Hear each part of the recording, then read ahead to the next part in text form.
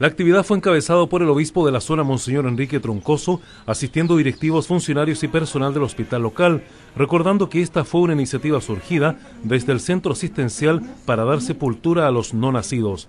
El doctor Eduardo Morales, en representación del hospital, valoró una vez más esta iniciativa. Está la tranquilidad de la familia. Antiguamente los nonatos no eh, eran parte de los residuos del hospital, no quedaban en, ninguna parte. Y eso era un tema muy doloroso para algunas familias. Entonces, em, teniendo en cuenta ese sentimiento, eh, fue como partió esta iniciativa. Y también para nosotros es importante porque fuimos pioneros a, nivel nacional en tener un mausoleo de estas características. Y por eso estamos contentos en nuestro cuarto aniversario y que se ha mantenido muy bien, eh, gracias especialmente a Caritas, que nos ha cooperado mucho. María Soto, una de las madres que sepultó a su hijo en el mausoleo, agradeció la existencia de un lugar como este.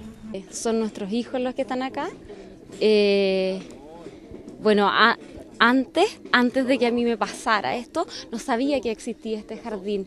Y la verdad que eh, a medida que va pasando el tiempo uno va conociendo distintas mamás con distintas experiencias, pero todas con el mismo dolor, entonces nos une eso, el haber perdido nuestros hijos.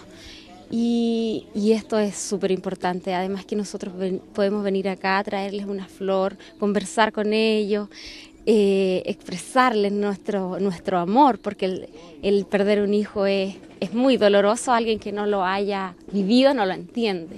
Entregó también su testimonio respecto a cómo se comparte esta experiencia con otros padres.